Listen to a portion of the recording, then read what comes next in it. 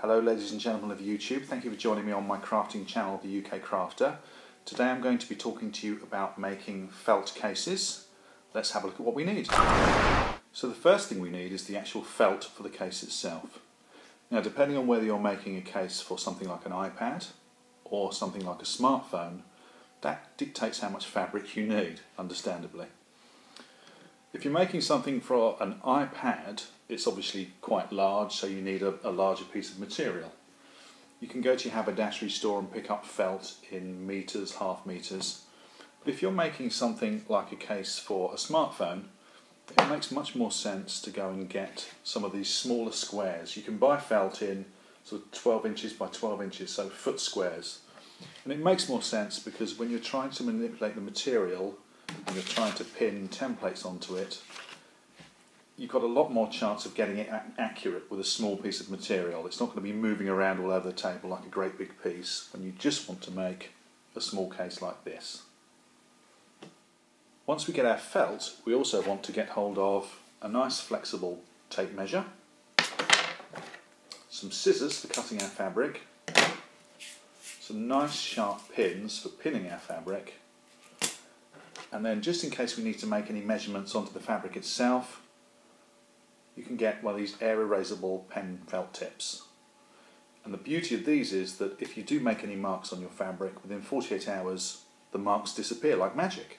They're really good, I, I suggest getting one of those. So, we've got our fabric, now we want to make some templates. If you're making something small like a case for a smartphone, you need to get yourself a template sort of around about this size. In the description below I'll put the sizes that you need for most of the major smartphones like iPhones, HTCs, Samsungs. The easiest way to do this is to get a piece of A4 paper, get something like this, which if you go to your craft store, you can go and ask them for the, the material that people use to put in the base of bags. And in fact, I've used this for a bag. I've cut a piece out that I, I made a bag the other day. What you can do with this is line the straight edges of this up with the straight edges of your paper. Get your tape measure or ruler, measure out the dimensions that you need for your case, get a pen, and this stuff's got little holes in, so you can mark through the holes the exact measurements that you need. You've already got two straight sides, so you only need to worry about two more sides. Take this away, get your scissors and cut out your template. Now this template here is for a, uh, an HTC One phone. If I were making one for um, an iPhone it would be slightly smaller. This fabric here actually was used to cut out an iPhone and this is clearly a bit, bit larger than that but um, the measurements are below so if you, if you want to make a smartphone case I'll do some videos for those and we'll make them together. Now, if you're making just a simple case with no embellishments, all you really need are the things that I've mentioned so far. But if you want to add things like buttons and little um, elastic tabs to keep things inside, you can buy the elastic that you need to sew in. You can buy buttons of various sizes, small ones like this or large buttons like this that you can sew on. And you can also add things like ribbons to them. So if you want a bit of a sort of a Paul Smith thing going on there, you can buy ribbon and sew that onto your onto your cases as well.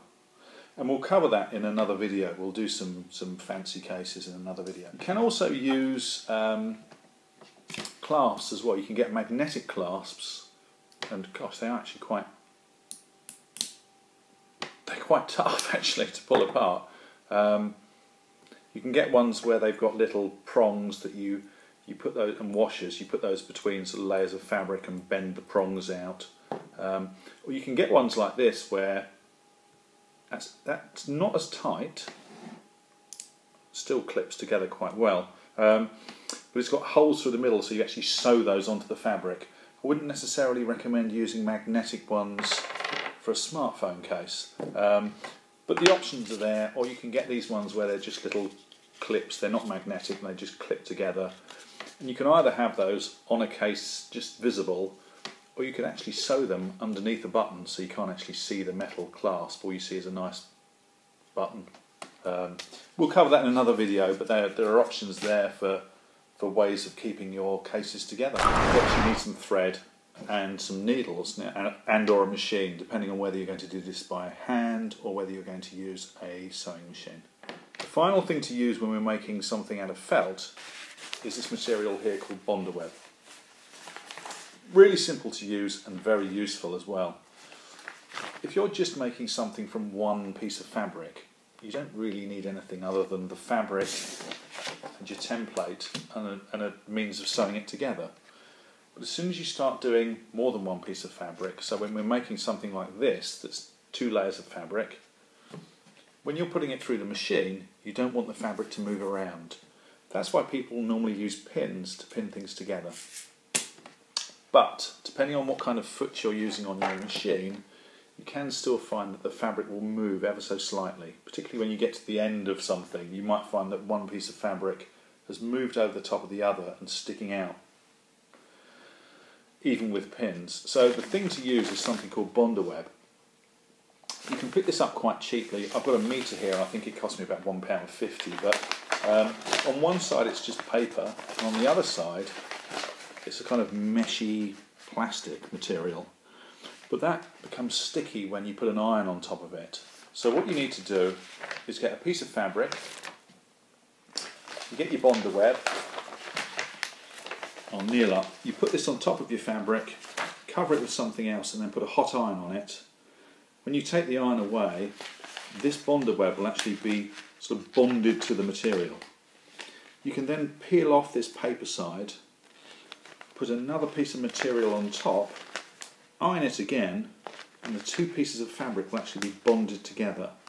And that's really useful when you then put it on your machine because that fabric is not going to move. You don't then have to worry about pins. That fabric's not moving anywhere. That's going to stay together nice and firmly for you to be able to machine around the edges or whatever else it is that you're doing with it. So that's all we need to make simple felt cases. Join me in my next video where we're going to make a very simple smartphone case. See you soon.